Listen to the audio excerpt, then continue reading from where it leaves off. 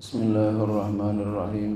الحمد لله رب العالمين وبه نستعين على أمر الدنيا والدين والصلاة والسلام على أشرف الأنبياء والمرسلين سيدنا وحبيبنا وشفيعنا ومولانا محمد وعلى آله وصحبه أجمعين سبحانك لا علم لنا إلا ما علمتنا إنك أنت العليم الحكيم ولا حول ولا قوة إلا بالله العلي العظيم أما بعد. قال مصنف رحمه الله تعالى وأدام نفعا في علوم في دارين آمين فإن رضي أحدهما biduni madda'ahu maka jika ridho oleh salah satu daripada keduanya dengan tanpa mendapatkan apa yang ia dakwakan akan dia atau bahasa lainnya dia kalah kemarin kan ada perselisihan antara dua yang bertransaksi. Kalah umpama yang satu ya. Ya dah dia ridho dah. Akhirnya dia tidak mendapati apa yang dia dakwakan. Au samaha lil akhari bimadahu atau dia menyetujui bagi yang lain yang mendakwakan itu. Umpama dia penjual dia setuju dengan apa yang didakwakan oleh pembeli bimadda'ahu dengan apa yang dia dakwakan akan dia. Maka kalau begitu lazimal akdu wala ruju'a. Tetaplah akad itu berlangsung terjadi. Wala ruju'a dan tidak boleh menarik kembali. Hmm. jadi tujuan beli. Wa in asarra ala al-ikhtilafi falikullin minhuma awil hakimi fasquhu ayil aqdi wa in lam yas'alahu qat'an lin nizai. Fa in asarra maka jika keduanya mensenantiasakan al ikhtilafi atas berselisih jadi berselisih terus. Falikullin maka boleh bagi tiap-tiap minhuma dari keduanya ya umpama awil hakimi atau hakim ya boleh boleh fasquhu oleh merusaknya boleh menggagalkan ail akdi akadnya. Wa in lam yas'alahu sekalipun keduanya penjual pembeli tidak minta ya tidak minta kepada hakim itu untuk menggagalkan. Sekalipun menjadi boleh hakim langsung turun tangan. Qat'an lain karena untuk memutuskan bagi perselis bagi perselisihan itu. Ya. Karena untuk memutuskan atau karena untuk melerai. Wala tajibul fauriyatu huna. Dan tidak wajib segera di sini. Ya enggak wajib segera. Ya. Dalam menggagalkan itu dalam merusaknya itu enggak. Suma ba'dal fasih kemudian setelah difasah digagalkan jual beli itu yuraddul mabi'u bi ziyadatil muttasilati. Maka dikembalikan akan mabi barang yang dijualnya itu dengan tambahannya yang bersambung. Ya tambahan barang-barangnya yang bersambung. Fa in talifa isan maka jika rusak ia secara isi barangnya mabiknya nyata au atau secara syariat Secara syariat seperti apa? Ka'an waqafahu seperti dia mewakafkan atau akan barangnya itu dia udah wakafin. Pada padahal tadi jual belinya nggak jadi tapi dia udah wakafin gimana kalau begitu? Nanti. Au ba'ahu atau dia udah jual lagi itu barangnya. Rudda misluhu maka dia kembalikan akan yang sepertinya. In kana jika itu barang yang dijual atau yang dibeli sama dia mislian. Yang bangsa misil. Artinya dia itu ada barang yang seperti itu. Gitu.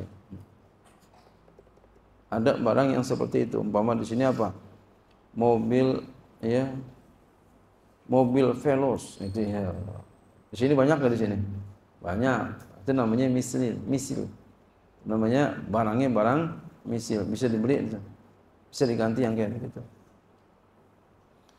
au qimatuhu in kana mutaqawaman atau diganti harganya aja jika dia itu memang bisa dihargakan. Jika jika dia itu barang yang dihargakan. Ganti duitnya aja dah. Wa yaruddu 'alal ba'i qimata abikin usikhal aqdu wa huwa abikun min 'indil mushtari. Wa yaruddu dan dia kembalikan pembeli alal ba'i atas penjual qimata abikin akan harga budak yang kabur Usihol akdu yang telah dipasah, yang telah dirusak akan akadnya itu telah digagalkan akadnya. Wahwa abikun dan dia budaknya pergi kabur min indil mustari dari sisi pembeli. Iya. Ulangin tuh harganya itu berapa duit.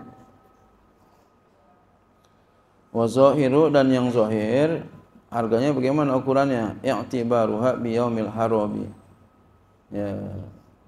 I'tibarnya itu yang zahir itibarnya uh, harga yang dianggapnya itu ya di hari kaburnya berapa duit di hari kaburnya itu harga harga budaknya walau da'a ahaduhuma jikalau mengakui salah satu keduanya bai'an akan jual. Wal akharu rohnan yang dan yang lain gadai. Kata pihak salah satu dari penjual dan pembeli kata yang satu penjual atau pembeli eh, ini gadai. Au hibatan ini hibah. Kaan qala ahaduhuma seperti bahwa berkata salah satu dari keduanya bi tukahu bi alfin aku jual eh, kepada engkau akan demikian itu dengan seribu. Ya dijual. Fakal akharun lalu berkata yang lain bal roh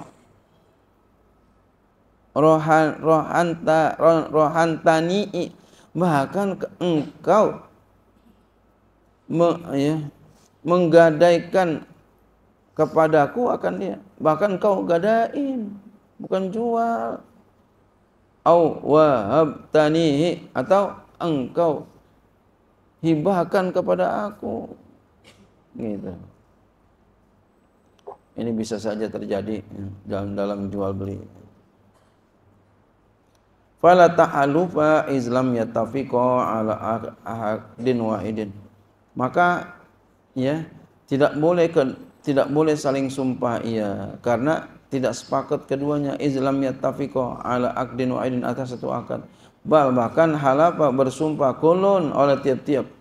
Ini kita mau baca halafa kulun boleh. Nah kalau pengen di, dimajulin boleh tapi pakai intasdid aja. Hulifa kulun itu disuruh sumpah. Halafa juga boleh. Halafa jangan pakai tasdid. Halafa bersumpah oleh tiap-tiap. Ya kulun min huma daripada keduanya lil akharin uh, bagi yang kepada yang lain nafyan karena untuk menafikan. Menafikan sih menggagalkan. Ayyaminan menggagalkan sumpah. Nafiatan yang menafikan di dakwal akhiri bagi dakwah yang lain. Li'anal asla karena bahwa asalnya itu ya adamu tidak adanya, tidak adanya dakwaan. Summa yaruddu mudda'il bai'i alfa li'annahu muqirun biha. Kemudian ya mengembalikan oleh orang yang mengakui mendakwakan jual akan seribu.